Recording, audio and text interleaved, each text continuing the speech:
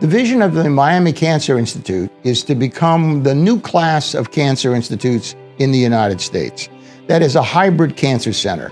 And by that I mean most of the cancer care in the United States is delivered in community hospital settings. Although much of the research and changes that occur in cancer care occur at academic medical centers, most of the care itself is delivered in community hospitals. So our goal is to be the hybrid, to be the marriage between the best of a community setting and link it to a traditional academic medical center. And in our case, that academic medical center is the world famous Memorial Sloan Kettering in New York City. The alliance between uh, Miami Cancer Institute and Memorial Sloan Kettering Cancer Center, to my mind, really important. We have a unique opportunity to exchange clinical trials with that, uh, we can develop uh, clinical trials at both centers and we can exchange the data resulting from there and learn a lot. In general, this is a very interesting time for immunotherapy in itself.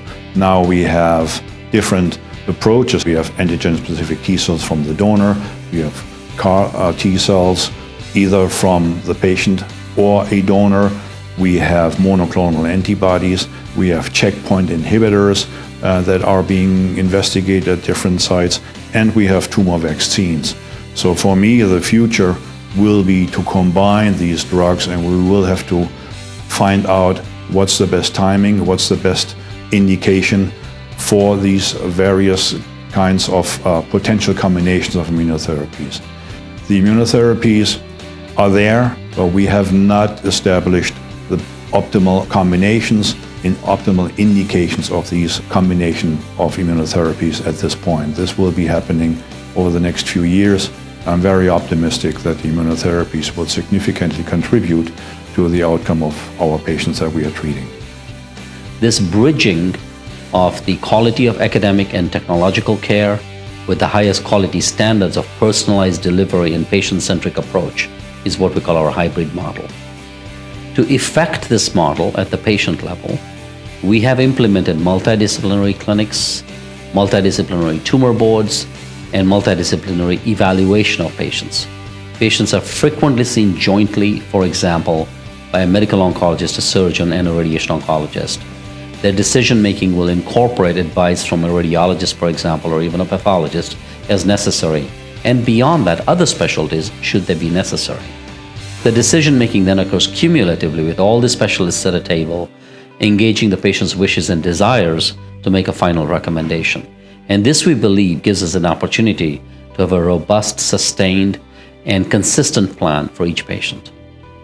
Cancer uh, is not a, a, unique disease. You know, we're talking about um, hundreds of diseases, and then when you really go and do the deep dive into the genomes, uh, more than thousands of diseases. So it's extremely important uh, in order to uh, best manage patients and best treat patients. One is to have access to good doctors, uh, good technology, good surgeons, um, and um, also for us to know um, how we are going to guide your therapy. And, and then the second aspect is the early therapeutics. New drugs take a long time um, it, to be accessible to patients so a doctor can prescribe. And if you have a difficult disease, uh, have no time to wait. So, um, you know, having access to this um, uh, through a phase one program is critical. And we at Miami Cancer Institute have been able to enable uh, a, a, phase one program with a precision medicine unit in which we have access uh, to these therapies early for our patients. The future of medical care in general will revolve around genetics. Using next generation sequencing technology, we can, for example, sequence an entire human genome in 72 hours. The Human Genome Project, which took place between 1990 and 2001, required almost 12 years and $3 billion to sequence a single human genome.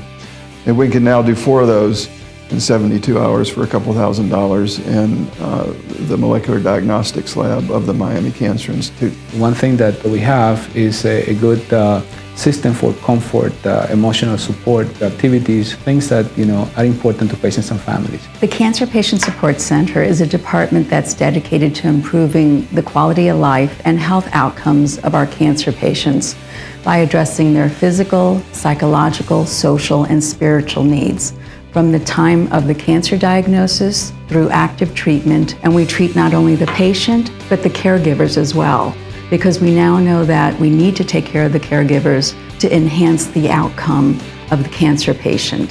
One of the things we're very proud of here is what we might call our high tech and high touch component for care. And the high tech part we is because we have all of the technology available to treat cancer care. One of the unique places in the world that has all of that under one roof. But the other equally important part is the high touch part.